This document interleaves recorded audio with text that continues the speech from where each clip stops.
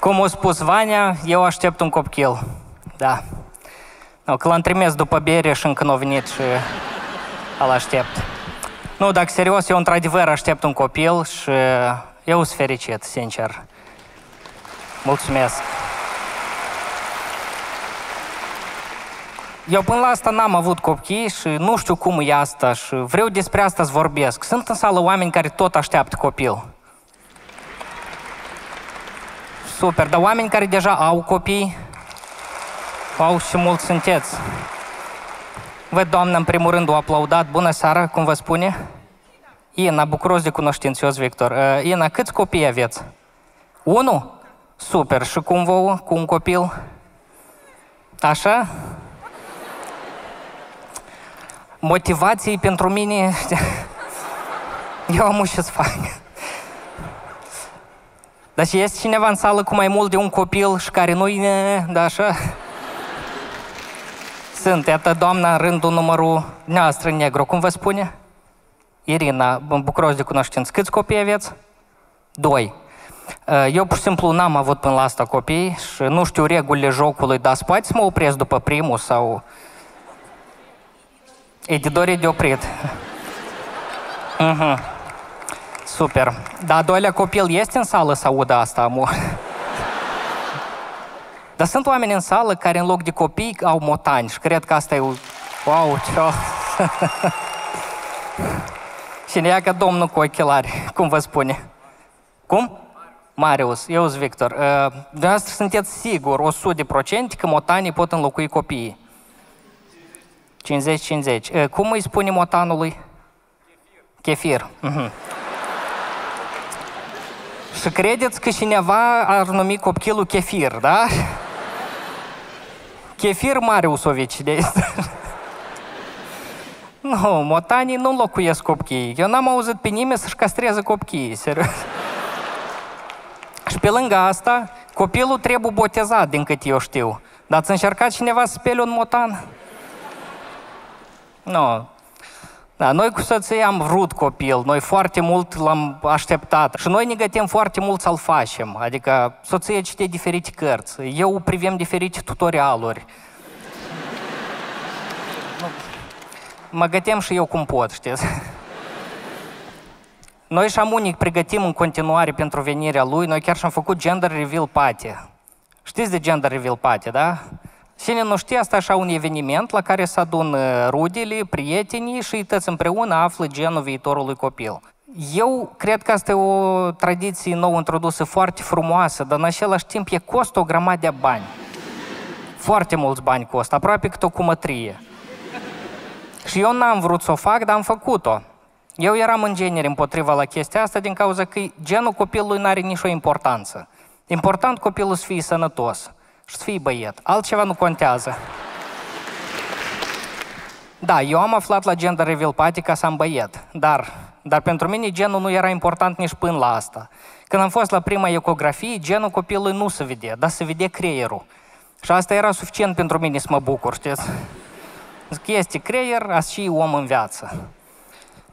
În genere, vă închipuiți cât ar fi de interesant dacă ar fi un test care arată nu doar genul copilului, dar și și el în viață.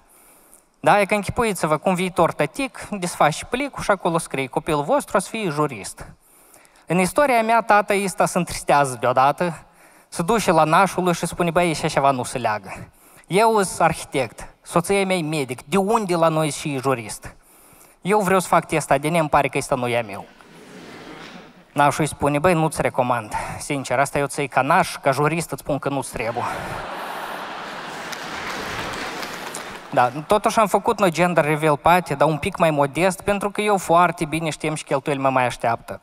Am fost de unul să ne uităm cât de cărușor pentru copil. Și soția ne arată unul, zice, uite, este și frumos, uite, are de tăte, tot ce ne trebuie și uite ușor să manevrează, cu o mână pot să-l manevrez. Eu mă uit la prețul lui de 29.000 de lei și zic că nu ne trebuie nou cărușor manevrabil cu o mână, pentru că noi avem câte două mâini, ok? De, lăsăm cărușorul ăsta pentru oameni care au numai o mână și au și ei copii lor să le prindă mai ghine. Și asta, apropo, nici nu era cel mai scump cărușor. Cel mai scump cărușor acolo costa 42.000 de lei. 42.000 de lei, vă închipuiți? Mai pui tot atâta și îți iei o mașină în care scătă tot familia, nu numai copilul. Eu și mă gândesc, totuși cred că să comand cărușori din America, știți? Ați și o leac pălit, dar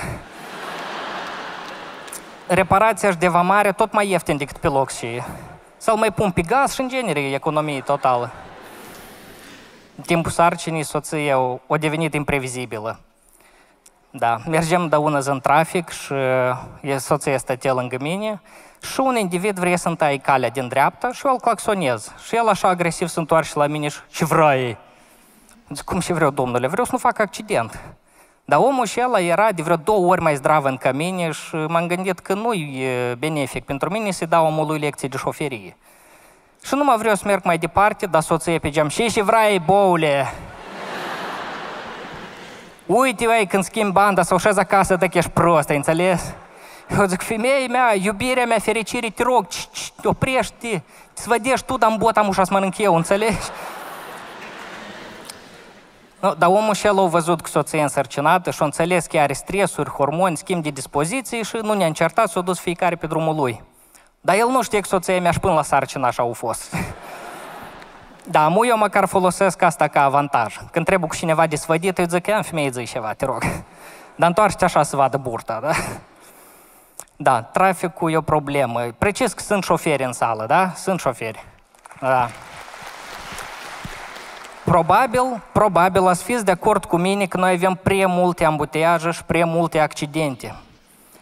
Și eu m-am săturat de chestia asta, că accidentele creează ambuteiaje și unele ambuteiaje creează alte accidente. Și devină nu sunt numai șoferii, devină și pietonii. Pietonii care nu înțeleg că drumul se traversează la zebră, dar nu ca o zebră, ca o sălbătășiune de așa.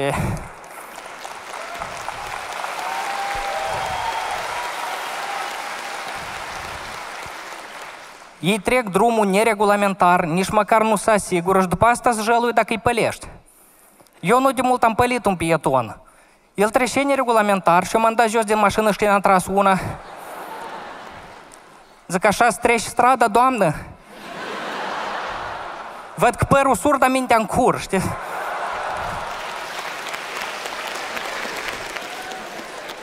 Șoferii tot sunt nedisciplinați. Și la noi, peste tot locul spus camere cu radare și asta ar trebui să influențeze pozitiv în trafic. Dar nu.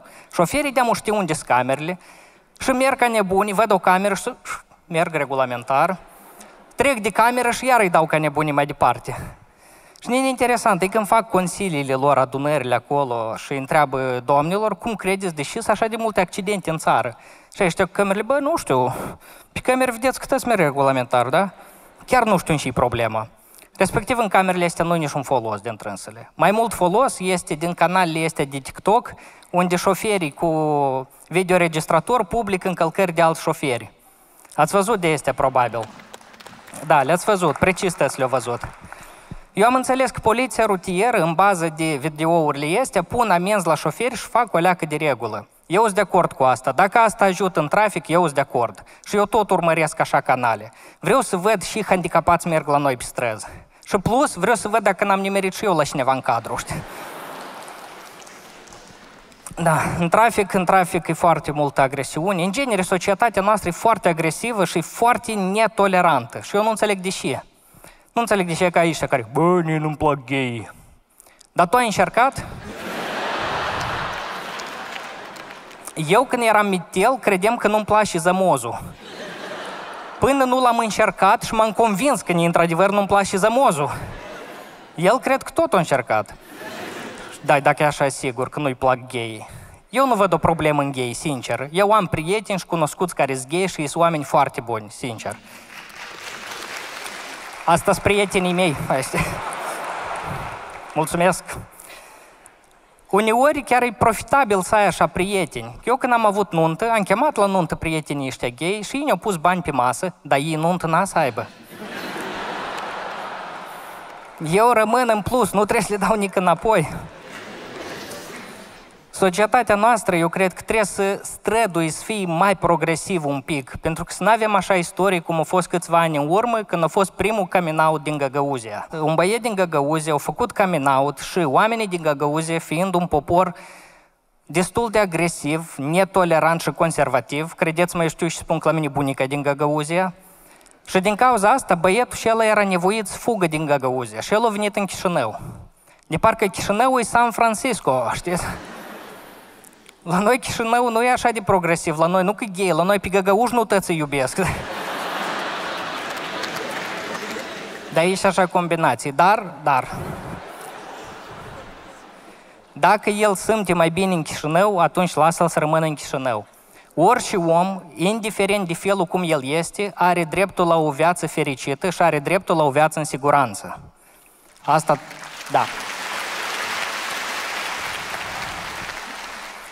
Dar oamenii din Găgăuzia, după ce el s-a dus, ei cred că ei au câștigat. Dar ei nu au câștigat de fapt. Ei au făcut ca o persoană din societatea lor și ei nevoită să fugă. Ei aici au pierdut. Și pe lângă asta, gay de regulă apar câte doi. Și aici înseamnă că cel mai probabil cineva din Găgăuș mai are ceva de spus. Eu vă mulțumesc pentru atenție și vă urez o seară plăcută în continuare.